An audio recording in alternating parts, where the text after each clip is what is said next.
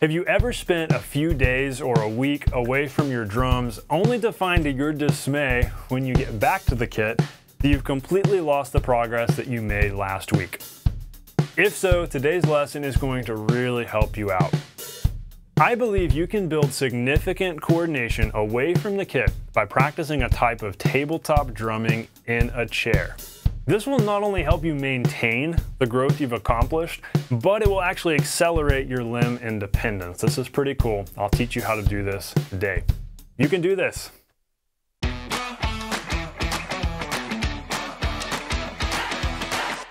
Hey, welcome to the Non-Glamorous Drummer. I'm so glad you're hanging out with me today.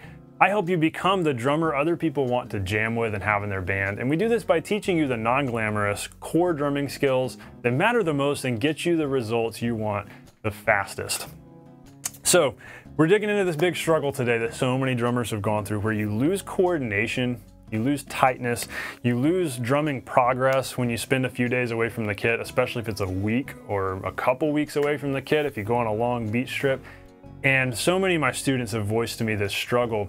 And it's challenging on a couple of levels because you come back from your trip and you're back on the drums and you've lost all this progress, so that's frustrating. You feel like it takes a little while to gain it back. But it's kind of a double whammy because you're also like, well, I practiced so hard before I left. Was all that practice meaningless? Because I seem to have lost all that. So it's like you worked hard, but all that's it's frustrating. It's a really frustrating thing, and I've heard this over and over again from so many students of mine who have dealt with this. So we're gonna solve this today, and I think this whole tabletop drumming exercise, as crazy as it sounds, it really is. I really wanna validate this for you and show you how this really can help you build maybe even more coordination than you would build at the kit. This is pretty cool. So before we get into that, I have a free gift for you. I want you to grab in the description, and this is especially for you beginner drummers. This is my 25 Practical Rock Grooves and Fills e-guide. This is essential for you. If you are just now starting out on the drums and you're like, I want to play songs. I want to have fun on the drums. I want to play some songs, but I just don't know what to play. Like, I need to learn some basic grooves. I need to learn some fills. This guide is your cheat sheet. If you learn these 25 grooves, 25 fills, it sounds like a lot, but you don't even have to learn all of them. Just learn a few. Learn a few basic ones and you will be able to play probably 95% of rock and pop songs that you hear which is so empowering, so encouraging. You'll be able to, you know, get on the drums, playing songs, and really having fun. You've got to have fun early on, otherwise, what's the point, right? That's, that's why you get into this. You want to play songs. So this guide's going to help you out. It's got notation for all these grooves as well as audio recordings, and so whichever way you learn, you'll be able to learn these, and you'll get better at reading notation too in the process. So my free gift to you, go and grab that. So I remember being just a few months into learning the drums and going on a vacation and coming back and kind of being worried like, oh no, have I lost a bunch of progress? I've got to play at church tomorrow morning. I got back from vacation on a Saturday night. I got to play at church in the morning. I was in high school. I was playing in the high school student worship band. I'd only been taking lessons for a couple of months, so it's kind of that uneasy feeling of what if I what if I've lost everything because I haven't played in a week. So I got home Saturday night. I played through a little coordination exercise. I thought, okay, this feels okay, and went to church the next morning and everything felt all right. It wasn't bad. Like, yeah, maybe it took me some time to kind of get reaccustomed to it and feel, you know, at home on the instrument again, but it really wasn't too shaky. And honestly, I credit that to tabletop drumming. As crazy as it sounds, you tabletop drummers are going to get some big time validation today because I believe this is a completely legit thing. Because for so many of my students, that's not the story I've heard. For so many of them, it really is a struggle of you take a break and you come back and you feel like you've lost a lot. But I believe if you are activating the, the coordination part of your brain, if you're activating that coordination musical part of your brain while you're away from the kit, it doesn't matter that you're away from the kit. So this is going to be a lot of fun. You can build significant coordination away from the kit by practicing limb to limb patterns in a chair. So here's what we're going to do. I want you to find your favorite chair, ideally a, like a kitchen chair at a table. You can play on the table with your hands or like a chair with a hard armrest so you can get some thump and some tap out of. Be on a, a wooden floor, not this carpeted floor. Um, be on something that's got some resonance. So just find a favorite chair. Adirondack chairs out on a deck. Honestly, they're perfect. I don't have one of those, but if you do, awesome. Either way, find a chair. What we're gonna do is we're gonna move up to my sunroom and I'm gonna go sit in one of my favorite chairs and uh, we're gonna enjoy some nice, beautiful October weather and I'm gonna teach you these limb to limb patterns. It's gonna be a lot of fun. So I'll see you up there. Welcome to my sunroom. We are in the my favorite room in my house, and I love this chair here in the corner. Uh, it's a beautiful day in October here in Georgia, and so that probably means my face is just a shadow uh, because it's so bright and sunny outside, and the leaves are starting to change, and so this is a great place to be. So bear with the shadow on my face. At least you've got nice scenery behind me. But the point of this is not my face. We're gonna point the camera down in a minute. I like this chair because It's a really musical chair. I love playing beats on the armrest of the of this kind of chair. It's like a metal, kind of like an outdoor chair, but not really an outdoor chair. Um, but these kinds of chairs are great. That's why I mentioned like an Adirondack chair at the beach. That's great for this. So let's get on to our action steps here. What we want to do is play these different hand-foot combinations, strategically targeting weak areas uh, between our limbs. And really what we're going to do is just do a basic beat between different limb combinations. So our, our groove here, just for the sake of this lesson, is going to be one and a two e and a three e and four. That rhythm, boom, boom, ba, boom, boom, boom, ba. One e and a two e and a three e and four.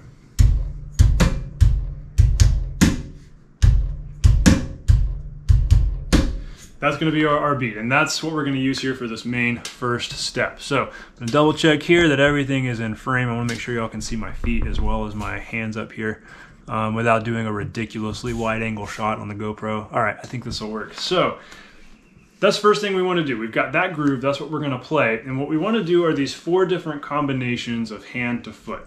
So we can do right hand, right, right hand, right foot, that right there, or we can do left foot, left hand, or we can mix them together and go left foot, right hand, or right foot, left hand. So four different combinations we can start off with right here. So we want to play our groove, our kind of hip hop-ish groove between those different combinations.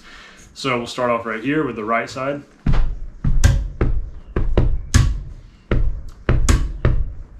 And by the way, you could do toes or you could do heel. We'll talk a little bit about that in a minute, whether or not to do heel or toes. Kind of interesting things to practice here. So we've got that combination.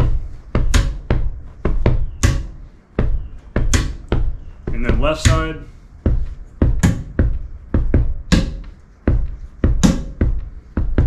Then mixing it up, so maybe right foot, left hand. Which should feel pretty natural if you're used to kick, snare, right? But what about when we do this one?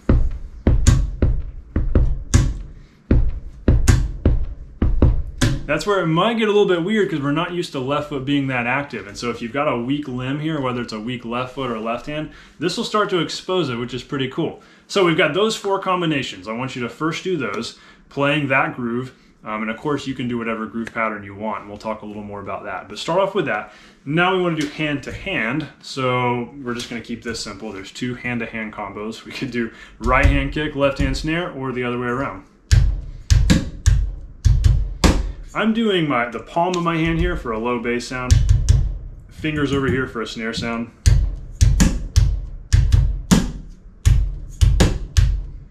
Then switch around.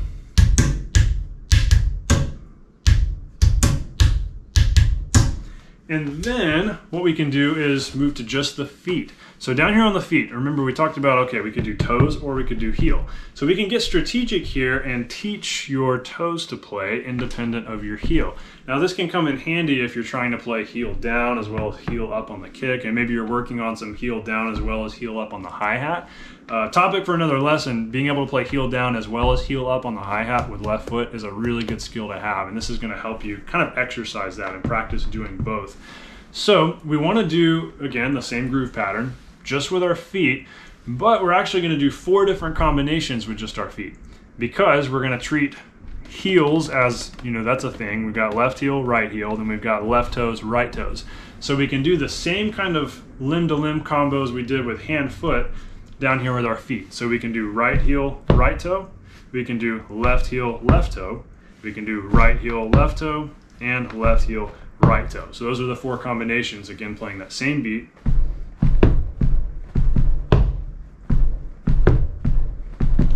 left foot.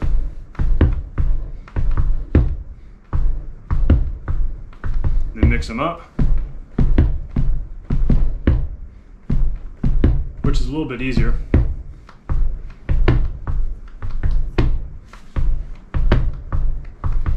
And what I hope you start noticing at this point uh, my, my hope is that you're starting to notice weak points. You're starting to notice things that are just a little weird, like, you know, that doesn't feel quite right.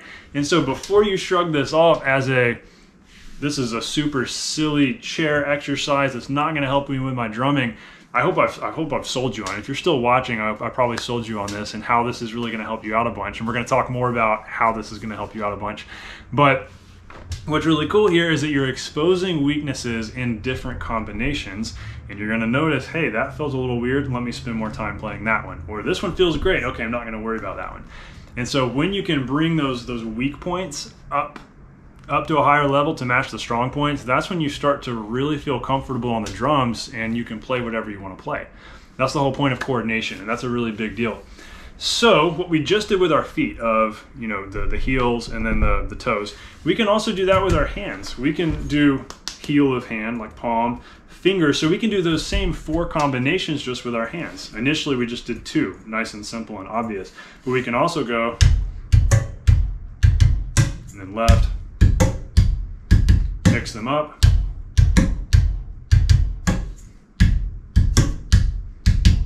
So you're, you're getting these different parts of your hand too, which is probably a lot more applicable to hand drumming than it is stick drumming. But hey, as many combinations as we can get from this, the better, because the goal here is not to do weird things with our hands or our feet.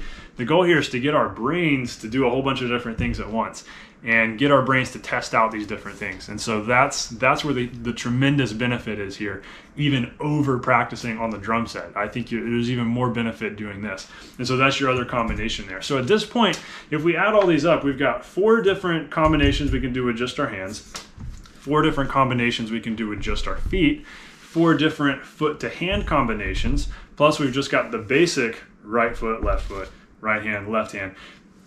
I'm not going to try to add all these up and do the math. You can do the math. We've got a whole bunch of combinations of ways we can practice these things. And so now, now that we've laid the foundation for this, we can move on to our step two. Um, I'm not going to demonstrate every one of these now because it'll take a while. But step two, play paradiddles between the different limb combinations. So all the combinations I just showed you, practice doing paradiddles like this.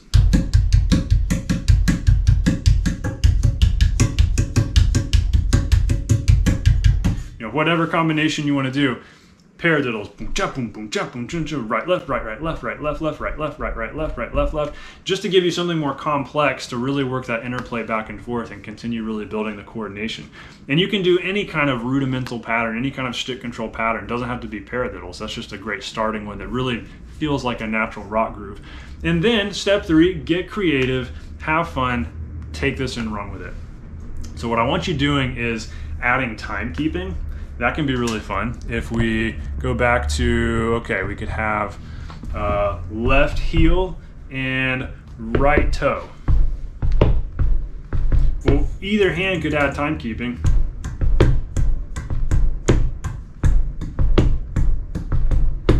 Technically, if we do left hand timekeeping, left heel, right toe, that's totally backwards. It's like we're on a lefty kit. What if we do alternating sixteenths?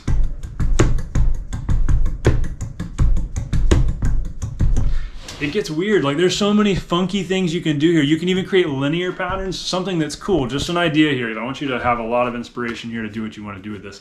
Your thumbs can become the timekeeping. So you could do something like this. I'm using my thumb to just fill in the space. So it becomes this linear pattern that I'm playing just with my hand.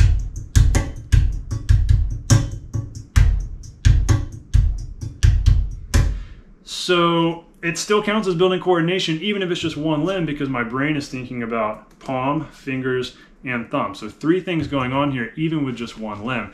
So you can even work on this with literally just one hand and then practice doing that with your left hand too, which is gonna help so much with weak hand.